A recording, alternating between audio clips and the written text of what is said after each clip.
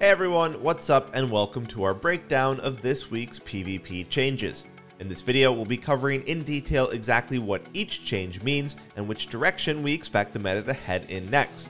Many players will be happy to hear the devs are continuing with the trend of small incremental changes to classes that are either over or underperforming. And this week is no different, as we've seen plenty of changes that absolutely needed to happen. And while you might be surprised to hear a few changes we definitely expected still haven't happened, we're still excited to see the ones that have. But real quick everyone, if you're interested in keeping up with the meta by watching hundreds of arena guides that are released every month, we've got you covered over at skill-capped.com slash wow. There you'll find weekly releases of arena commentaries from some of the world's best players, allowing you to follow along as the meta develops to see what changes pros are making to their playstyles while listening along as they explain their choices in real time so that you can improve faster than you would with any other resource. So if you're interested, head on over to skill-capped.com slash wow and sign up today link in the description below. To get things started, let's take a look at these Holy Paladin nerfs. While they didn't receive any changes to their throughput, which many players believe is the biggest offender of Holy Paladins, given that they can heal through almost anything with relative ease while wings are up,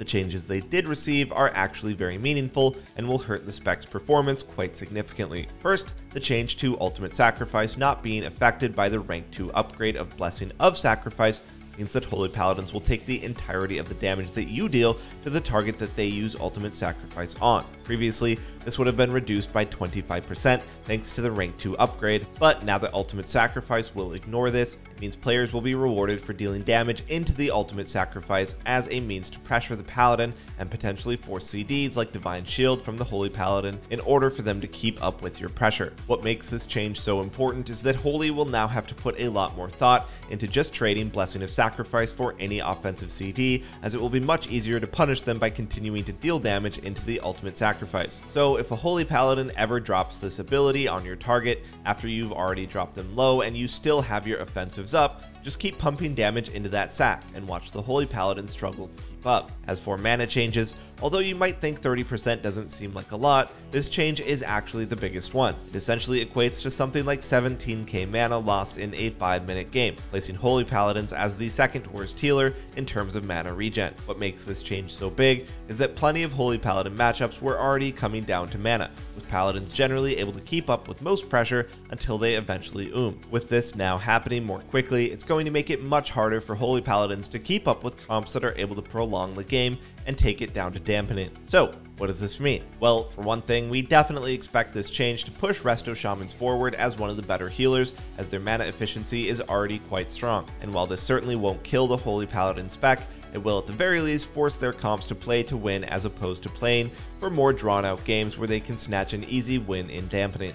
Next, we've got a couple of mage nerfs. Dampened Magic has seen a change to bring it down to a 10% reduction to magic dots as opposed to the previous 20%. While this change is quite minor and only really affects a select few matchups, such as Shadow Priests and Mages, this talent wasn't always chosen by mages, which makes this change even less meaningful. The Pyrokinesis nerf, on the other hand, is much more significant, reducing the frequency at which fire mages are able to access their combustion kill window. By now, most of you have probably realized that outside of combustion, fire mages are really not that threatening, and with this nerf, you'll have even less to worry about as stopping fireballs between combustion will slow down the pace at which they can reset their combustion cooldown even more. This is definitely a welcome change. However, it won't take mages away from the top. They'll still be one of, if not the best casters, just because of how insane their combustion window still is. But with that being said, when you pair this Pyrokinesis nerf with the Holy Paladin nerfs, there's a very strong possibility that the ever popular Fire Mage Holy Paladin composition type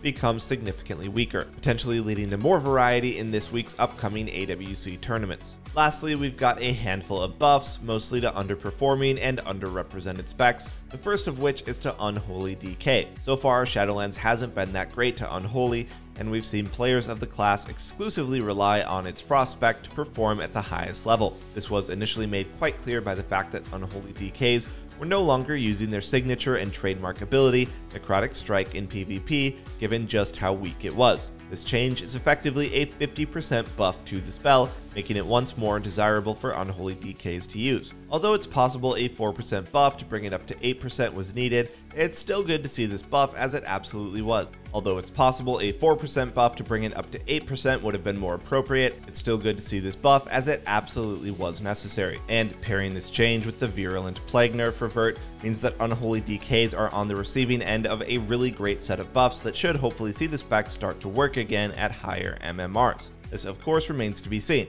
as Unholy DK pressure was very low prior to these changes, but at the very least, we definitely expect to start seeing veterans of the class at least start to experiment once again with the spec.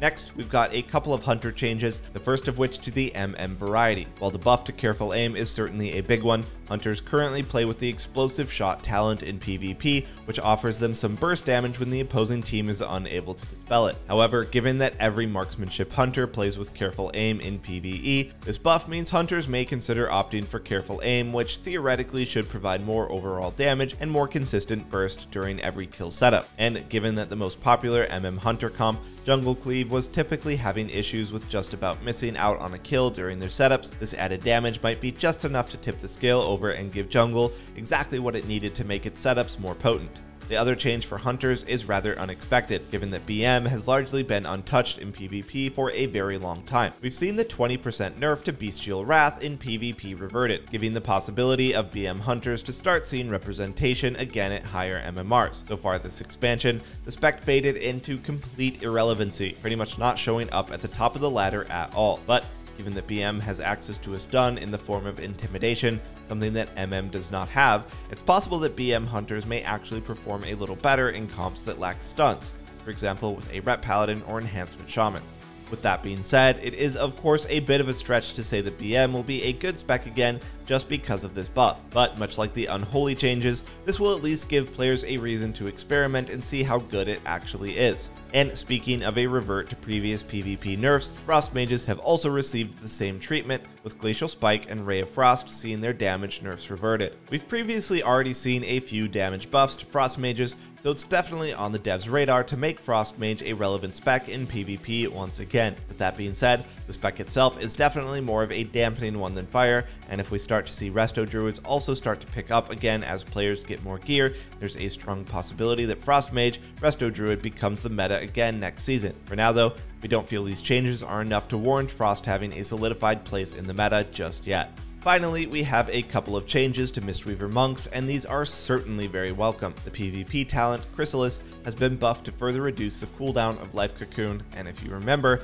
Mistweaver monks in BFA who relied on the Burst of Life Azerite trait to lower the CD of Life Cocoon, they were quite difficult to deal with, as they seemingly had Cocoon ready for almost every kill window you would set up. And while this won't bring the cooldown to as low as 55 seconds as it was in BFA, it's still a great buff, as we've seen Mistweavers excel in the past when this cooldown has been lower. In addition, their mana regeneration has been buffed by 20%, and given that Mistweavers currently have great throughput but struggle a ton with mana, this is another perfect change that might allow them to start popping up again and finding their niche in the meta against specific comps. Despite all these changes, which are great ones, we're still very surprised that a few outliers have not been touched. Given the recent performance of Prot paladins in the AWC and the sheer unenjoyment that practically the entire player base feels when they play against one, it's strange that we haven't seen the spec touched at all. Other complaints, such as the RNG factor within the Ret Paladin conduit, Ringing Clarity, the overwhelming strength of Intervene, the ridiculousness of a Holy Paladin's Awakening talent, the strength of a Frost DK's Heartstop aura, the power of an Enhancement Shaman's off heals, and so on, all seem to be completely ignored. Still though, with buffs happening much more frequently than nerfs, we can at least hope to see the strength of every spec brought up to the strength of these outliers with the incredibly potent tools that can single-handedly win games for their teams. Alright everyone, that about does it for this one. We're certainly excited to see these regular changes and hope this trend continues over the next year to bring WoW PvP balance between the classes and specs closer than it ever has been before. Don't forget to like the video if you enjoyed, and hit that subscribe button and bell to be notified the moment we release all of our Shadowlands PvP content. Thanks for watching, and we'll see you next time.